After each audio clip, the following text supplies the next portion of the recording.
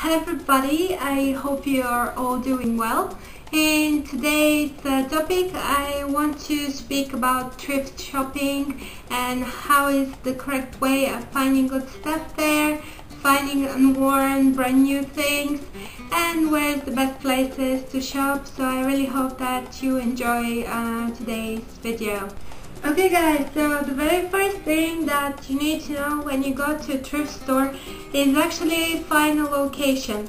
For example, um, I live in a city uh, where there are few very big chains of thrift stores or secondhand shops and uh, there are some smaller ones like uh, for owners, family oriented and so it depends what you're looking for. There's always a good catch and a good find I've been buying thrift store um, clothes or secondhand clothing for probably long years now and I really learned you know how to find the best things and the best deals. So once you know what you want and what you're out of, for example, pants, shirts, clothes, you know, such as jeans, um, t-shirts, tank tops, um, you need to Google or you need to find a location and then to find out the best place for you. For certain shops, for example, I'm not happy when I go there because I never can find anything.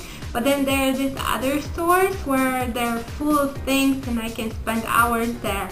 Uh, usually when you do thrift shopping, I would recommend you to uh, have just a day for that because it's a lot of searching and it takes a lot of your time. And if you're a worker you will uh, you know realize that you don't have the whole day whenever you have to cook clean and do everything else that a woman must do. Yes if you're a man and you don't do these things you'll have plenty more time to shop around but um, let's say you chose the location and you're happy with it now usually they uh, bring new stuff every single day in the shops.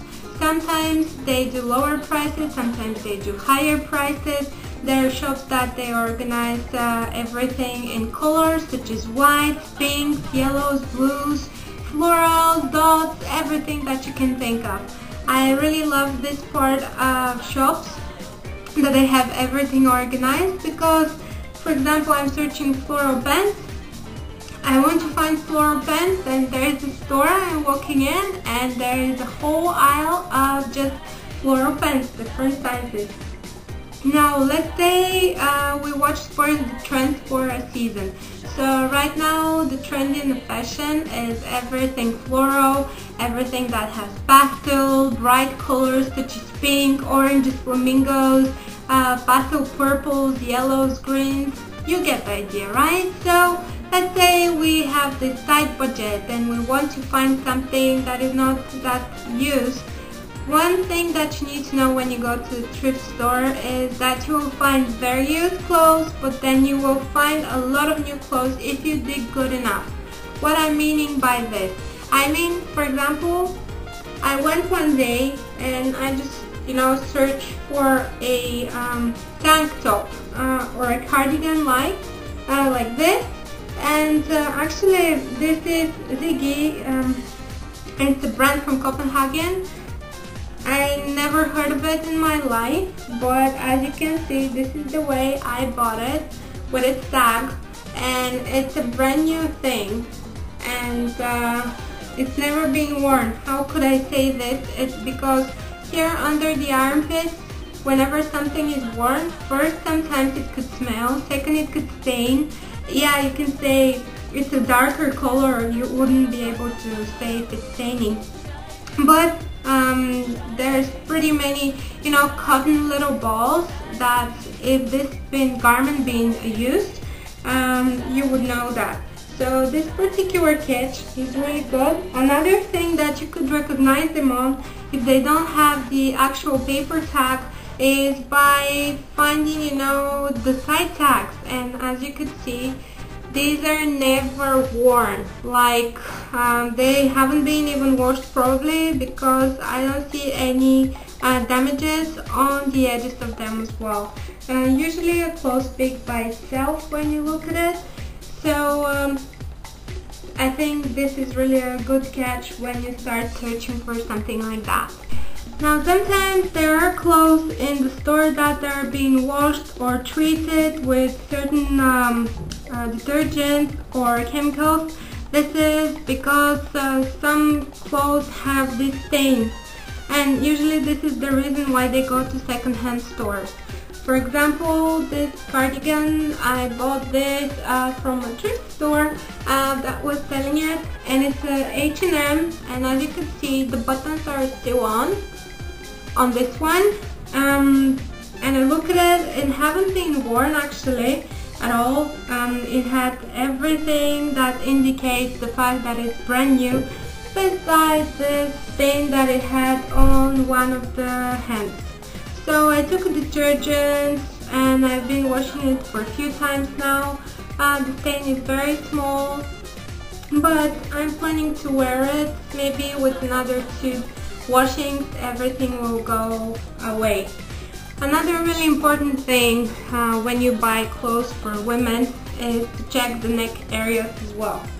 Sometimes they have a lot of stains on them if they're used uh, this is a good indicator if it's never been used. Um, a lot of the times the tag will stay really unused. Uh, you will have all the tags uh, sealed on it. And also, um, the sides, they wouldn't be worn, they wouldn't stay baggy, such as in the case with American Eagle. And all of those things that I'm showing you are actually really cheap. This one I bought for $2 I was really happy with it. The H&M I bought for like 250 so these are really good catch.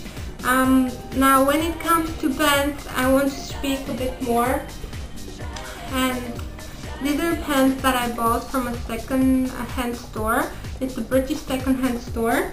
This brand is named Papaya and I'm sure that a lot of you that are living in the United Kingdom are very familiar with this brand. Now one thing that you want to search for when it comes to pens, these are the pockets. If the pockets are worn, on the sides of the pocket you will find a lot of uh, you know little cotton balls as well. You will find some scratches.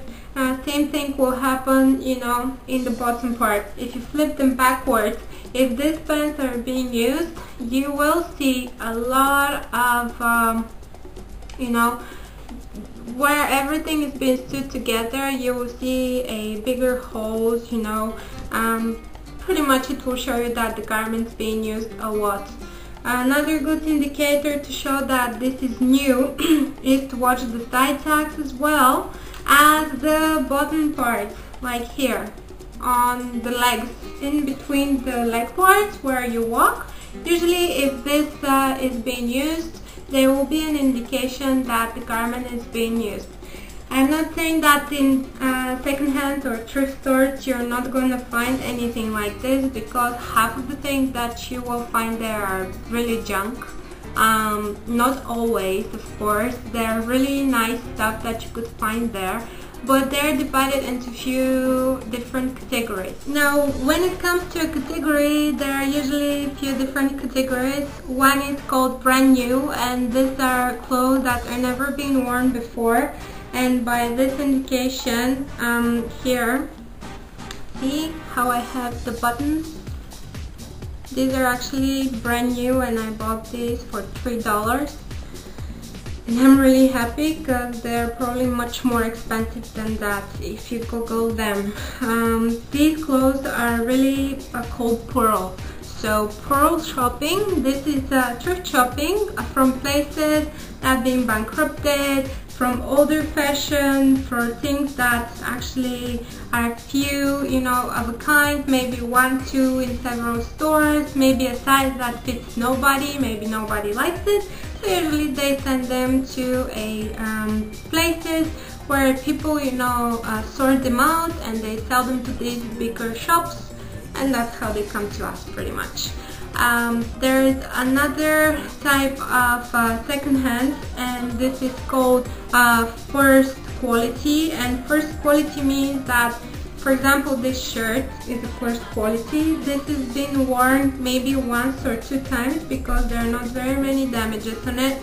Uh, on indication, you could see that uh, the tags are still alright.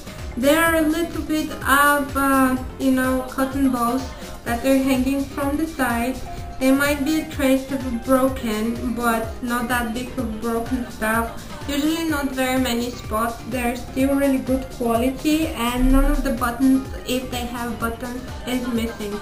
Then of course we have a second-hand quality of a second-hand which is actually getting worse and it's not that good. Uh, it's considered more broken-like, it has more stains in it, uh, some stuff that needs to be fixed, needs to be repaired.